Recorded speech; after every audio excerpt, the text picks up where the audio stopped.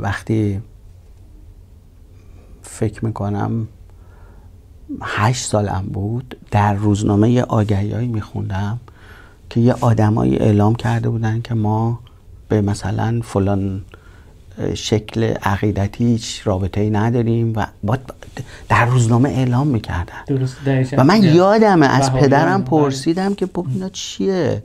و اون به من توضیح داد که آره اینا اینجوری هن اینجوری هن اینا باید اعلام کنن که مجبورشون میگن بله. آره. از اون دوره ما هیچ وقت نمی‌دونستیم یه دی رو دارن تو زندان می‌کشن. ما زیر نفوذ پروپاگاندای حکومت برای افسانه شهادت و بهشت بودیم. ما نسلی بودیم که در فضاهای بسته زیر پروپاگاندای جعبه جادویی تلویزیون ایران شستشوی مغزی شده بودیم. خیلی ها بودن. من نمی‌دونم من راجع خودم بهتر حرف بزنم.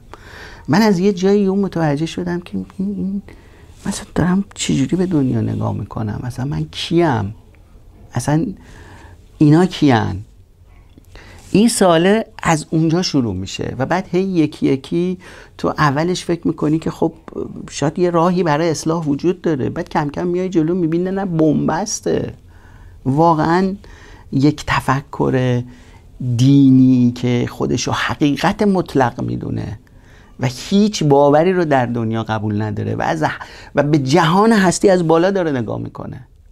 تو چطوری می‌خوای با این گفتگو کنی؟ اصلا ممکن نیست.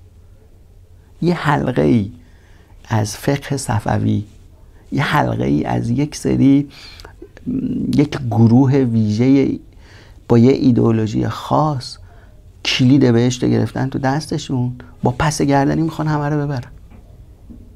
خب این من اینو زندگی کردم. و نمی‌تونم و نمی‌تونم بهش بیتو یه کسی ممکنه این توانایی رو داره بگه خیلی خوب اینطوریه ولی من می‌خوام داستانم رو تو این سطح بگم. نه من من داستانم اغلب راجع به این محدودیت هاست اغلب راجع به این فشار هاست. و هر بارم تونستم تا جایی که توانایی داشتم سعی کردم که تو داستانام سوالام رو مطرح کنم. چون خیلی نتونستم هنوز به یه جواب درست و دقیقی برسم. خب از این بحث در واقع برسیم به سینمای سیاسی. اصلا سینمای سیاسی برای تو مفهومش چیه؟ و من دیدم که بعضی در واقع منتقدای ایرانی حتی این انتقاد رو این غر زدن رو به سینمای تو دارن که خیلی سیاسی زیادی سیاسیه یا حرفای از این دست. برای تو اصلا اساسا سینمای سیاسی یعنی چی؟ در شرایط استبدادی سیاست یعنی چی؟ چی سیاسی نیست؟ من الان از هر کدوم از فیلمسازان جهان نه فقط ایران از هر کسی که مدعی اینه که در یک زمینه استبدادی می‌تونه طوری غیر از سیاسی فکر کنه یا رفتار کنه دعوت می‌کنم این کارو بکنه. محمد جان حتی سیاسی نبودن یک گزینه سیاسیه توی همچین زمینه ای فقط جاییه که تو تصمیم گرفتی به آرامش و در واقع به وضعیت خودت بیشتر توجه کنی تا دیگران تا اون چیزی که می‌بینی. بنابراین اساسا اگر فردا تو تصمیم بگیری درباره آب و هوای تهران یک فیلم بسازی؟ تو داری یک وارد یه موضوع سیاسی بزرگ میشی و حتما از زندان سر در میاری. چرا؟ چون در وقتی که می‌خوای راجع به هوای تهران فیلم بسازی باید راجع به معماری شهری حرف بزنی و از شهرداری سوال بپرسی. از شهردار سوال بپرسی. باید راجع به کیفیت خودرو تولید خودرو در ایران سوال بپرسی و وزیر صنعت و و مدیران صنعتی رو و تصمیم گیران سیستم رو بکشونید جلوی دوربین و بگین چرا کوالیتی تولیدتون اینجوریه. بعد یهو میری دنبال می‌کنی می‌بینی درباره کیفیت سوختم که همینه. پس با وزارت نفتم کار داری. با تصمیم گیرا تو اون حوزه و سیاسیون تو اون فضا سر و کار پیدا می‌کنی.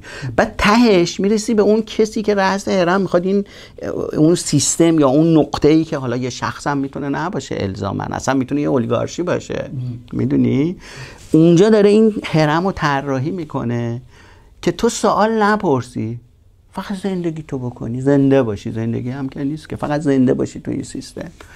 بشینی پای تلویزیون اونا حال کنی سلام فرمانده گوش کنی نمی‌دونم همون چیزای موسیقی که همیشه هست و و, و پرسیدن اونجا دیگه میشه امر سیاسی. پرسیدن میشه امر سیاسی. تا الان یک بچه ای در دبستان سوالات جدی بپرسه داره سوالات سیاسی می‌پرسه بدونی که بخواد. بنابراین این که سینمای من سیاسیه به این معنا نیست که من می‌خوام فیلمساز سیاسی باشم. من می‌خوام رابطه واقعی تری با اون چیزی که می‌بینم داشته باشم. خب؟ و این چیزی که قدرت سیاسی در ایران حوصلهشو نداره. میگه آقا واقعیت اونیه که من میگم نه اونی که تو می‌بینی. خب اینجا شروع میشه دیگه. بنابراین وقتی تو بگیش میگه میام گوشه تو می‌گیرم میندازم زندان بعد اون وقت باید در واقع یک تقاضا شخصی هم پس بدی که تو دادی دیگه. یه انتخاب دیگه. تو انتخاب. می‌تونی انتخاب کنی در هر حوزه ای در هر شکلی. پزشکام اینطورن. پزشکام اینطورن. مکانیکام می‌تونن اینطوری باشن. فرقی نداره. دامنش فرق می‌کنه. شاید چون تو سینما یه رابطه ای با عموم وجود داره یه رابطه ای با تماشاچی وجود داره یه معنایی فراتر از حتی هنرهایی که مخاطب جمع و جو حتی تو تئاتر شاید انقدر حساسیت زیاد نیست. برای اینکه مخاطب محدودتر عمل کرده اون سیستم می‌تونه یه نتیجه دیگه ای داشته باشه. حتی در سیاس در سینمایی که نوک پیکان تو ایران به سمت دولت ها ببره و رژیم رو نشونه نگیره بازم به اونا اجازه میدن. می‌دونی؟ یعنی میگه آقا تو انتقاد کن ولی کلیت نظام زیر سوال نبر.